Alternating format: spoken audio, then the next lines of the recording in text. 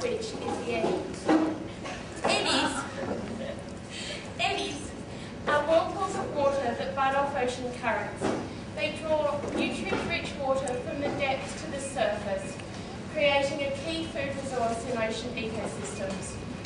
Dynamic in nature, they change in size, location and duration. Some eddies are small, lasting just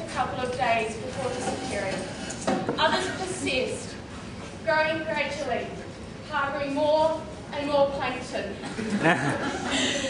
These larger eddies act as magnets for ocean species such as tunas, turtles,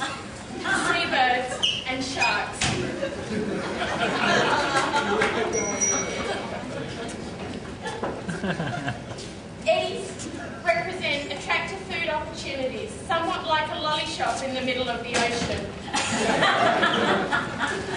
now science has shown that once these species aggregate, they tend to remain in these areas for a little while. So by protecting these areas from fisheries may be a key way of reducing a harmful threatening activity